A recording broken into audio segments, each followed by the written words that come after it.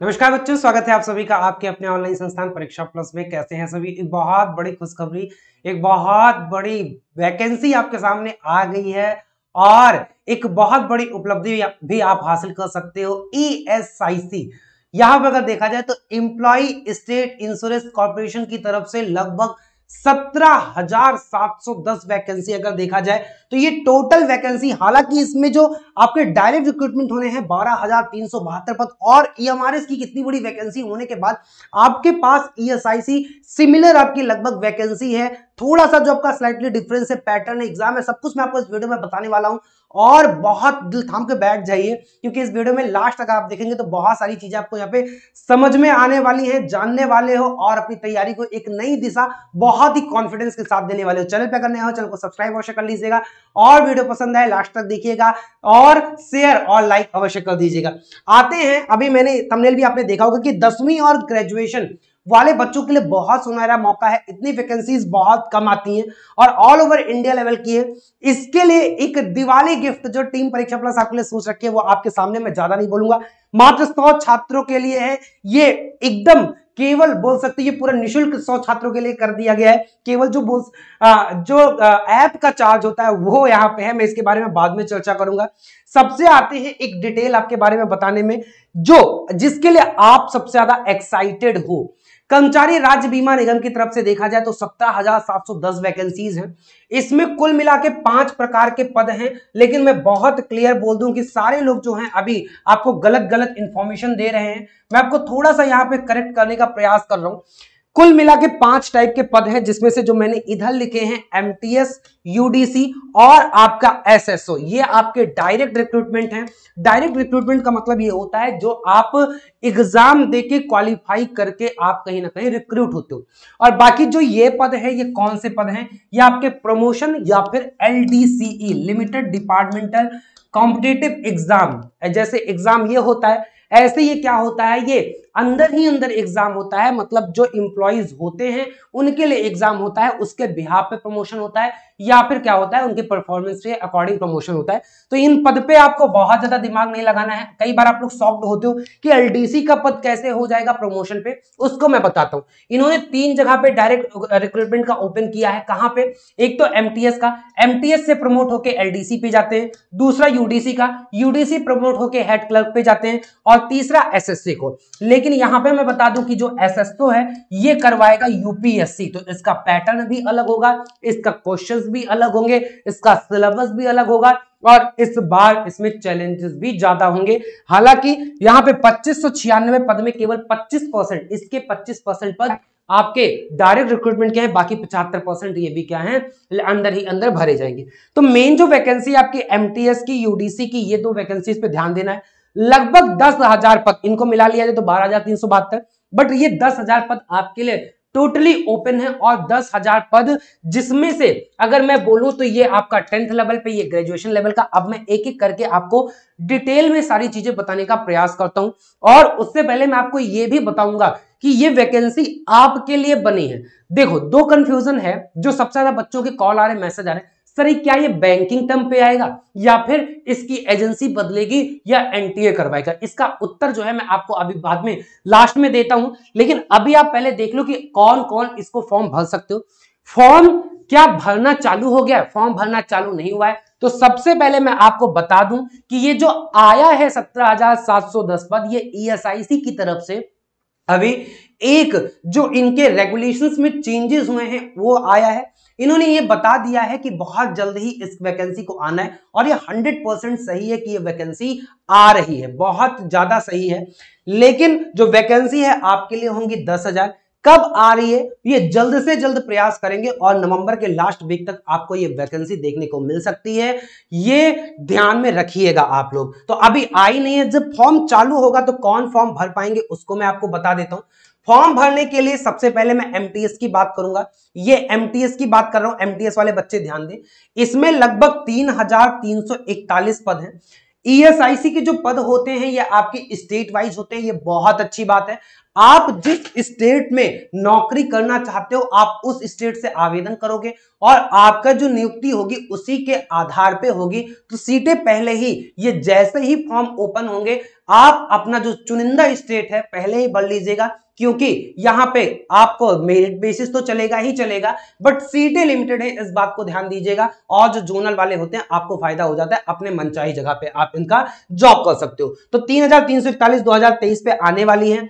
इसका जो पे स्केल है अट्ठारह हज़ार से लेके छप्पन हज़ार नौ सौ मतलब कि अगर ओवरऑल सैलरी देखें तो इन हैंड सैलरी आपके पास पैंतीस हज़ार के आसपास, एक दो हज़ार कम, एक दो हज़ार ज़्यादा, वो शहर के अनुसार एक्स वाई जेड पे डिपेंड करता है। बट पैंतीस हज़ार के आसपास आपकी यहाँ पे सैलरी होगी। और ये जो एज है आपका वो कितना है? 18 से 25 साल है। और आप केवल इसके लिए क्या? टेंथ क्वालिफाई हो, बस। अब आती है बात कि इसका पेपर टेंथ लेवल का अगर यहाँ पे है तो पेपर क्या बहुत इजी होता है? नहीं। अभी तक जो ईएसआईसी e का पेपर कराता, आ रहा था आईबीपीएस कराता, आ रहा था, और आईबीपीएस अपने एक अलग एग्ज़ाम पैटर्न के लिए जाना जाता है, जिसे लोग बैंकिंग पैटर्न कहते हैं। आप इसे थोड़ा सा समग्र रूप से बोल सकते हो बैंकिंग इंश्योरेंस या फिर और भी बहुत सारे स्कोप इनके बट इनका जो पैटर्न है, वो एक फिक्स्ड पैटर्न है, और उसके आधार पर ये लोग क्या करते हैं? कराते एग्ज़ाम दूसरा जो आपको यहाँ पे मैं बता दूँ, दूसरा जो आपके पास है, वो है यूडी यूडीसी जिसे बोल सकते हो अपर डिवीज़न क्लर्क या इसे इनकी भाषा में क्या बोला गया है? कैशियर भी बोला गया है। सबसे ज़्यादा पद आपके पास 6435 हैं। गोल्डन अपॉर्चुनिटी आपके पास है। यहाँ पे सारे ग्रेजुएशन वाले हैं। पच्चीस हज़ार पाँच सौ से लेके इक्यासी हज़ार सौ तक। मतलब अगर यहाँ पे देखा जाए तो इकतालीस से बयालीस हज़ार की सैलरी आपके हाथ में यहाँ पे आएगी। एक दो हज़ार कम, एक दो हज़ार ज़्यादा, वो शहर पे डिपेंड करता है। मैं अभी इसकी अलग से जॉब प्रोफ़ाइल और सैलरी वाली वीडियो भी बनवा दूँगा, वो आप देख लीजिएगा। तो आते हैं एक एक करके। अगर मैं यहाँ पे बात करूँ, इसकी डिटेलिंग देख लो एमटीएस की सबसे पहले। एमटीएस में डिटेल में देख लो शॉर्ट में। पद कितने हैं? तीन हज़ार तीन सौ इकतालीस। पे लेवल है अठारह हज़ार से लेके छप्पन हज़ार नौ सौ मतलब कि पैंतीस हज़ार से स्टार्ट होगी लगभग सैलरी। अट्ठारह से पच्चीस वाले भर सकते हैं। एज रिलैक्सेशन जैसा केंद्र में मिलता है पाँच साल एस सी के लिए, तीन साल ओबीसी के लिए। क्वालिफिकेशन केवल आपका टेंथ चाहिए, इसके अलावा कुछ नहीं चाहिए। अभी मैंने बता दिया। एग्ज़ाम जो पैटर्न है, अभी तक मैं आपको बता दूँ कि ये बैंकिंग पैटर्न में था पहले ये प्री होता था, उसके बाद ये मेंस करवाते थे और इसमें कोई स्किल टेस्ट एमटीएस में नहीं होता यहाँ पे अगर देखा जाए तो प्रीलिम्स में ये पैटर्न होता था 25 25 25 और 25 का। ये आपका क्वालिफाइंग होता था 25 आपका मैथ होता था 25 आपका रीजनिंग होता था 25 आपका इंग्लिश होता था 25 आपका जीएस होता था और एक क्वेश्चन दो नंबर का होता था। एक क्वेश्चन दो नंबर का होता था मतलब 50 50 50 50 मार्क्स के होते थे। टोटल जो मार्क्स होते थे वो 200 मार्क्स के होते थे। क्या होता था?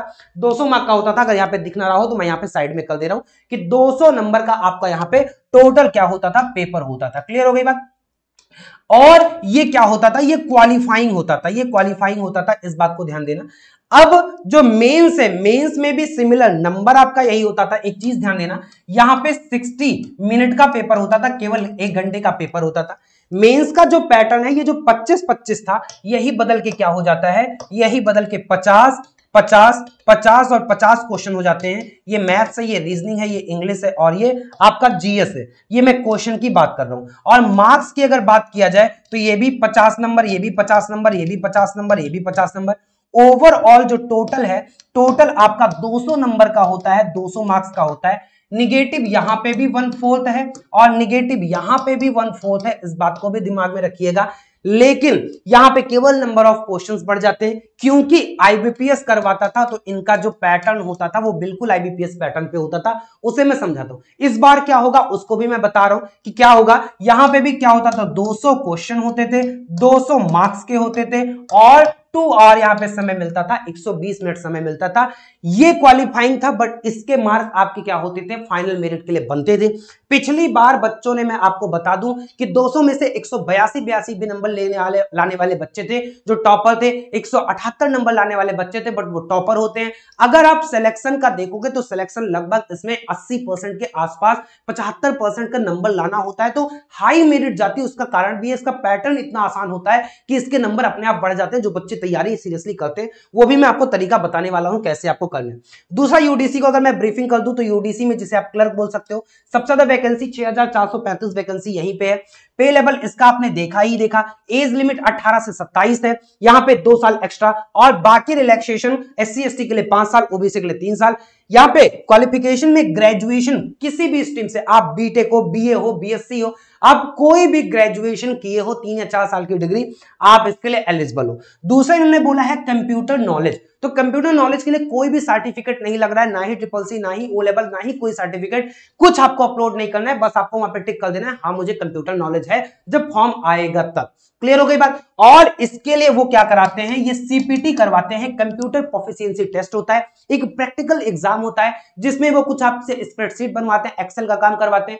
कुछ आपसे माइक्रोसॉफ्ट ऑफ़िस पे इस पे वर्ड पे काम करवाते हैं। तो ये बेसिक जो चीज़ें होती हैं, इस पे आपसे काम करवाते हैं। अगर कोई यहाँ पे क्या है पीडब्ल्यू कैंडिडेट है है ना? फिजिकली हैंडीकैप कैंडिडेट है तो उसके लिए फिर सीपीटी नहीं होता है। उसके लिए ऑब्जेक्टिव बेस्ड पेपर होता है एमसीक्यू टाइप पेपर होता है। पचास क्वेश्चन पचास नंबर के होंगे, लेकिन टॉपिक उनकी वही रहेगा। आगे मैं इसके सिलेबस में डिस्कस कर दूँगा। तो ये आपका है 18 से 27 साल के लिए, इसे आप देख लीजिएगा। इसमें 75 percent by direct recruitment 15 percent by promotion और 10 परसेंट बाई लिमिटेड डिपार्टमेंटल इस बात को ध्यान दीजिएगा। तो ये जो आपको 6435 वैकेंसी दिख रही है, इसका केवल पचहत्तर परसेंट फिर से मैं इस बात को बोल रहा हूँ कि यहाँ पे पचहत्तर परसेंट बच्चे क्या होंगे? डायरेक्ट रिक्रूट किए जाएँगे। बाकी 25 परसेंट जो होंगे, वो 10 परसेंट एलडीसी और 15 परसेंट प्रमोशन पे होंगे। तो 6000 का पचहत्तर परसेंट लगभग छाछठ है, चौसठ सौ है। इसका अगर पचहत्तर परसेंट आप निकालोगे तो यहाँ पे लगभग 4800 से चार सौ वैकेंसी आपके इसमें देखने को मिलेगी।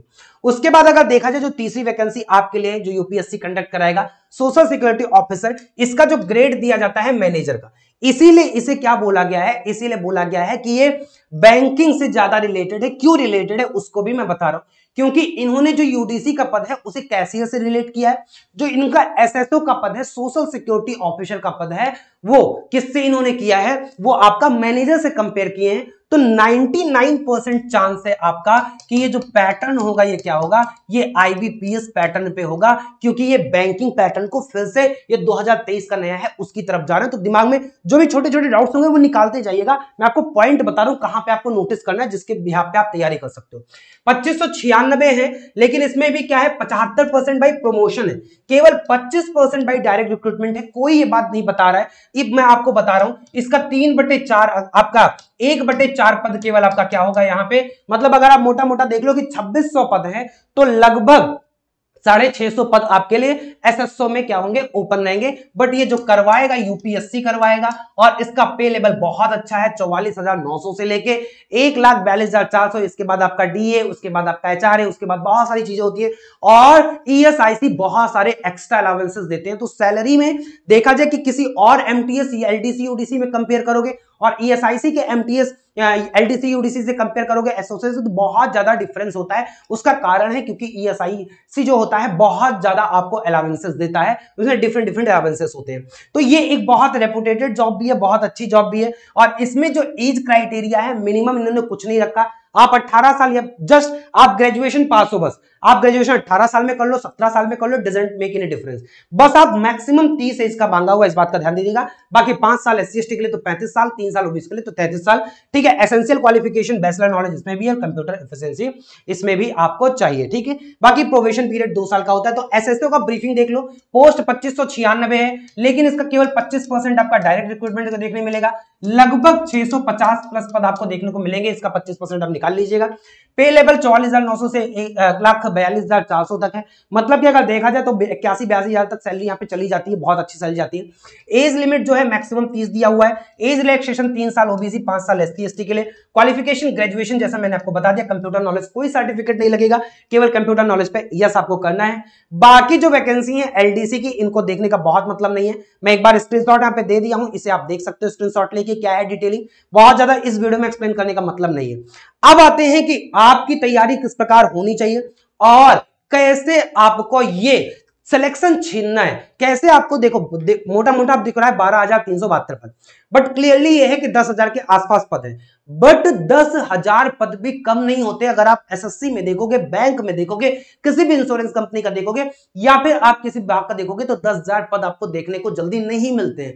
तो ये बहुत अच्छा है और अब यहाँ पे सबसे बड़ी बात आती है, सबसे पहले देख ले कि इनका एग्ज़ाम डेट कब होगा। तो प्रीवियस एग्ज़ाम के आधार पर कैसे इनका पैटर्न चलता है उस आधार पे मैं आपको बताऊँगा। एक चीज़ मैं आपको और बता दूँ, अगर ये पेपर आईबीपीएस करवाई, तब तो ये गोली के रफ्तार से भागेगी भागेगी।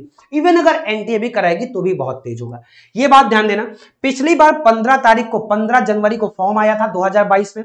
लास्ट डेट 15 फरवरी था, और इन्होंने यूडीसी का जो पेपर था, वो 19 से 20 मार्च मतलब आप एक्सपेक्ट कर सकते हो फॉर्म की लास्ट डेट फरवरी का मिड है और उसके बाद मार्च का जो मिड है, वो आपका पेपर हो गया फॉर्म की लास्ट डेट से एक महीना। तो ऐसे मान के चलो, अगर हार्डली नवंबर में आपका, थर्ड वीक में आपका क्या आ जाता है, फॉर्म आ जाता है तो यहाँ पे अगर थर्ड वीक में आपका फॉर्म आता है तो थर्ड वीक के बाद ये दिसंबर के थर्ड वीक तक आपका क्या चलेगा? यहाँ पे फॉर्म चलेगा फॉर्म की लास्ट डेट होगी। और इसके बाद आपका जनवरी में जनवरी में कोशिश रहेगी, इनकी क्या है? परीक्षा करवा ली जाए। यहाँ पे यूडीसी और इस बार एमटीएस की भी परीक्षा पिछली बार तो काफ़ी गैप दे दिए थे। अगर आप एमटीएस की परीक्षा देखोगे तो मई में गया था। मतलब कि अगर यहाँ पे दो तीन महीने का गैप मिल गया था एमटीएस में बट इस बार यूडीसी और एमटीएस दोनों साथ में करवाएँगे। कारण है 2024 का चुनाव जो है, वो ये उसमें कहीं ना कहीं एग्ज़ाम में बाधा ना बने। इस कारण से यूडीसी और जो एमटीएस है, ये आपका एक साथ ही करवाएँगे। क्लियर हो गई बात? तो एमटीएस का जो पिछली बार एग्ज़ाम था, वो सात पाँच था। फिर जो ये फ़ेज़ टू था मेंस एग्ज़ाम तीस चार, कितना जल्दी? मार्च में प्रीलिम्स उसके एक महीने में रिज़ल्ट देके और फिर पेपर करवा ले रहे हैं यूडीसी का। एमटीएस का भी देखो तो 25 पाँच 2022 यानी कि चौदह, यहाँ पे अगर आप देखो, ये रिज़ल्ट आया और उसके बाद पेपर फिर से क्या हो गया? पेपर भी एडमिट कार्ड भी अवेलेबल करवा दिए और एमटीएस का जो दोबारा पेपर हुआ, वो भी बहुत ही जल्दी हो गया था। ये 25 पाँच में जब एडमिट कार्ड आ गया तो मान के चले कि जून में हो गया था। यूडीसी का रिज़ल्ट 16 जून में दे दिए थे और एमटीएस का रिज़ल्ट आ गया था 28 जून में। क्यों किए? ताकि जितने भी स्किल टेस्ट होने हैं, वो अगस्त में करवा लें। और अगस्त में स्किल टेस्ट कराने के बाद इन्होंने सितंबर में रिज़ल्ट करके और तुरंत ज्वाइनिंग करा लेते। कहने का मतलब नौ दस महीना एक बच्चा पेट में रहता है, उससे कम समय में ये क्या करा लेते हैं, आपको नौकरी दिला देते हैं। तो बहुत क्विक है, बहुत फास्ट है। आपको अगर ये लगना है कि हाँ भाई मुझे नौकरी की बहुत ज़्यादा ज़रूरत है, मुझे कोई बहुत अच्छी स्ट्रेटेजी मिल जाए, बहुत अच्छा रिसोर्स मिल जाए, बहुत अच्छा कंटेंट मिल जाए, मैं दिन रात मेहनत करके और इस वैकेंसी को निकालूँगा। दो ये वैकेंसी आपके लिए सिर्फ़ आपके लिए है। आपको इस वैकेंसी के लिए आज से इवन अभी से जुट जाना चाहिए। इस बात को दिमाग में रखते हुए चलिएगा। तो ये आपका पैटर्न अब आते हैं कि पेपर कौन करवाएगा और एग्ज़ाम पैटर्न क्या होगा। तो अभी तक मैं आपको बता दूँ कि आईबीपीएस करवाता आ रहा था। आईबीपीएस का पैटर्न ये था, एक घंटे का। इसका जो बाइलिंगुअल में पेपर पूछता है, केवल इंग्लिश वाला आपका इंग्लिश में रहेगा।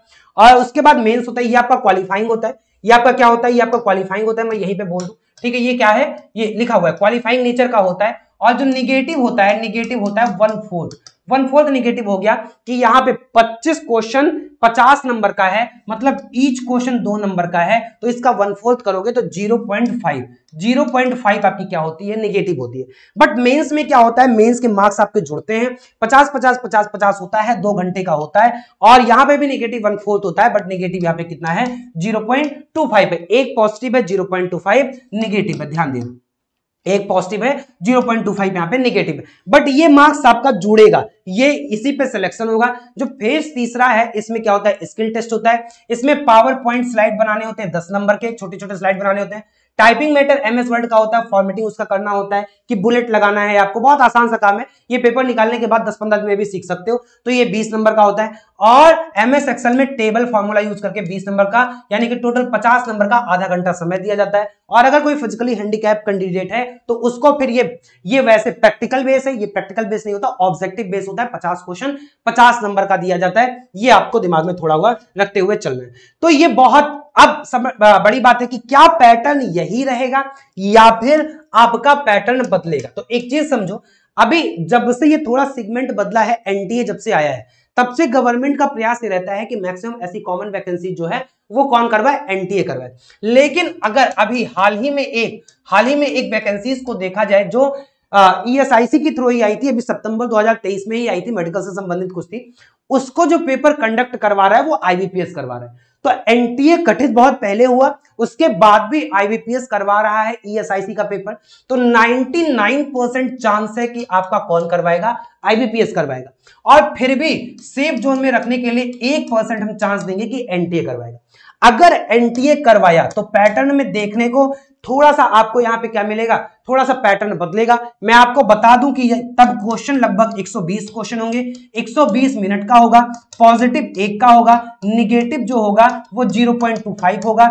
120 मिनट का पेपर होगा और इसमें जो सब्जेक्ट पूछा जाएगा वो मैथ पूछा जाएगा आपसे क्या रीजनिंग यहाँ पे आपसे मैथ पूछा जाएगा, आपसे रीजनिंग पूछा जाएगा, आपसे यहाँ पे इंग्लिश पूछा जाएगा, आपसे जीए यानी जीके या जनरल अवेयरनेस जीएस बोल दो। उसके बाद आपसे यहाँ पे एक सब्जेक्ट कंप्यूटर का भी देखने को मिलेगा एमसीक्यू बेस तो ये 20 20 के हो सकते हैं या ऐसा भी हो सकता है 30 30 के हो, या तो आपके 20 20 से 30 30 जैसा भी पैटर्न करेंगे। तो 120 क्वेश्चन 120 मिनट या 150 क्वेश्चन 120 मिनट 120 या 150 क्वेश्चन ये रख सकते हैं। बट इसके चांसेस कम है चांसेस ज़्यादा किसके हैं? आईबीपीएस के। अब आते हैं मुद्दे पे। अगर आप आईबीपीएस के पैटर्न पे, अभी आपको तैयारी किस पैटर्न पे करना चाहिए? इस पे या इस पे। मैं बोलूँगा, अभी आपको किसी पैटर्न पे तैयारी नहीं करना चाहिए। अभी आपको तैयारी किसकी करनी चाहिए? आपको मैथ्स पढ़ना चाहिए। अभी आपको रीजनिंग पढ़ना चाहिए। अभी आपको इंग्लिश पढ़ना चाहिए। अभी आपको जनरल अवेयरनेस करंट अफेयर्स पढ़ना चाहिए। क्योंकि कोई भी एग्ज़ाम करवाएगा, इससे क्वेश्चन पूछा जाएगा। आईबीपीएस में थोड़ा सा आसान हो जाता है। एनटी में क्या होता है कि अगर 20 से 30 क्वेश्चन मैथ्स का पूछेगा तो वो पूरा अर्थमेटिक नंबर सिस्टम भी पूछेगा और आपको उसमें स्कोप पढ़ना ज़्यादा होता है। आईबीपीएस में आपको आसानी क्या होती है? ये बल्क में क्वेश्चन पूछते हैं। पाँच क्वेश्चन किस पे पूछते हैं? अप्रोक्सीमेशन पे क्वेश्चन पूछ लेते हैं। मतलब कि सिंप्लीफिकेशन अप्रोक्सीमेशन टाइप होता है। पाँच क्वेश्चन किस पे पूछ लेते हैं? सीरीज़ पे पूछ लेते हैं। ठीक है? ऐसे ही ये लगभग पंद्रह क्वेश्चन जो पूछ लेंगे, पंद्रह क्वेश्चन आपका अरिथमेटिक पे पूछ लेंगे, जिसमें time and work time speed distance ऐसे टाइप के टॉपिक होते हैं। और उसके बाद ये पाँच क्वेश्चन किस पे पूछ लेते हैं? पाँच क्वेश्चन। सीरीज़ हो गया अप्रोक्सीमेशन हो गया अरिथमेटिक हो गया। बाकी जैसे डीआई हो गया या कुछ भी हो गया, इस हिसाब से वैसे 25 हो गया। तो ये 25 आपका पिछली बार का पैटर्न नहीं था मेंस में ये क्या करते हैं? मेंस में इसी में और इंक्लूड कर लेते हैं, वो होता है डीआई ठीक है? लगभग 10 से 15 क्वेश्चन ये डीआई का इंक्लूड कर लेते हैं, बाकी अरेथमेटिक का पार्ट बढ़ा लेते हैं। तो ये मैथ्स में होता है। एज ए रीजनिंग में इनइक्वलिटी के क्वेश्चन बल्क में होते हैं पजल के क्वेश्चन बल्क में होते हैं। तो इतना कठिन नहीं होता। बैंक अगर क्लर्क आईबीपीएस के एग्ज़ाम को देखो, वो कठिन होता है एसबीआई वगैरह। बट ईएसआईसी जो आईबीपीएस कराता है, उसमें क्वेश्चन पजल वगैरह आसान पूछे जाते हैं। अब इस बार कैसे आएगा, वो तो हम लोग बाद में चर्चा करेंगे। बट इस बार आसान हो सकता है। इंग्लिश कॉमन होती है, जिसमें आप पैराजंबल हो गया फिलर हो गया एरर डिटेक्शन हो गया पैसेज हो गया और मेंस में आपको क्लोज टेस्ट वगैरह भी देखने को मिलते हैं पीक्यूआरएस हो गया, ये सारी जो चीज़ें होती हैं, ये आपके क्या होते हैं इंग्लिश में पूछे जाते हैं। रही बात जी और करंट अफेयर्स तो उसमें करंट अफेयर्स का पार्ट ज़्यादा होता है, बाकी जनरल अवेयरनेस होते हैं स्टैटिक जीके होता है, ये आपका पैटर्न होता है, यही आपको तैयारी मेंस में भी लेके जानी है सब कुछ वैसे रहना है, केवल आपको अतिरिक्त समय, अतिरिक्त क्वेश्चन यहाँ पे आपको 100 क्वेश्चन वहाँ पे आपको कितने करने हैं? 200 क्वेश्चन दो घंटे में करना है।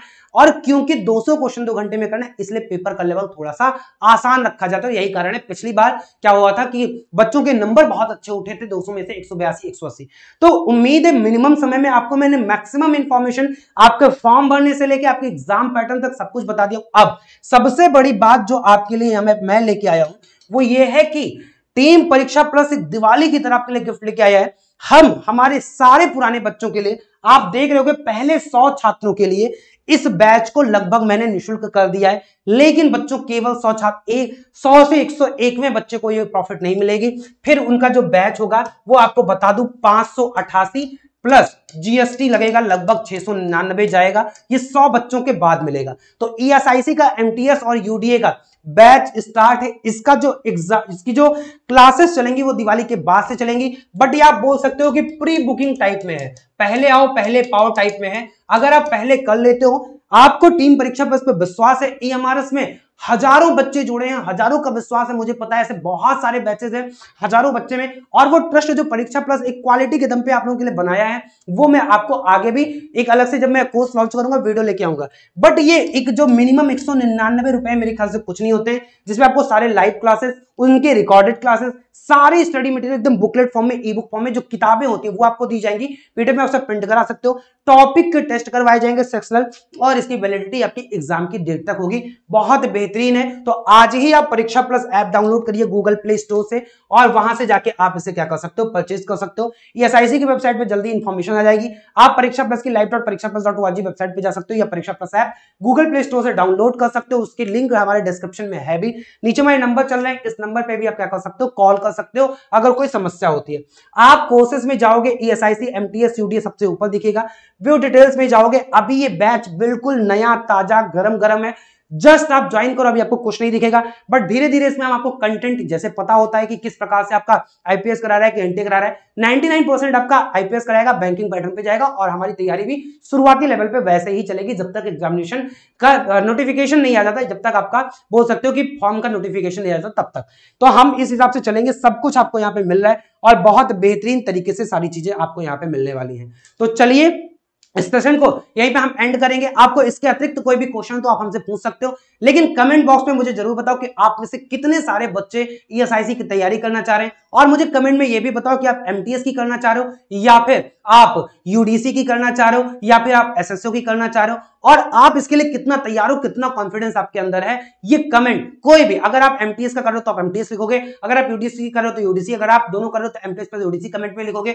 और आप अगर तैयारी नहीं भी कर रहे हो तो बोलोगे, नहीं सर, मैं इसकी तैयारी नहीं कर रहा हूँ, मैं किसी और की कर रहा हूँ, ताकि मैं समझ पाऊँ कि आप लोग इसके लिए कितना सीरियस हो। तो एक जोश आपको चाहिए, एक जज्बा आपको चाहिए, एक डेडिकेशन आपको चाहिए, और एक कहानी आपको यहाँ पे लिखनी है। सिलेक्शन पे सिलेक्शन जब तक सारे एक दीवार पे आपके बोल सकते हो कि कॉल लेटर के फ़ोटो न लग जाए दस बारह, तब तक हम लोग को यहाँ पे रुकना नहीं है। फिर मिलेगा बहुत बहुत धन्यवाद, सभी का बहुत बहुत आभार।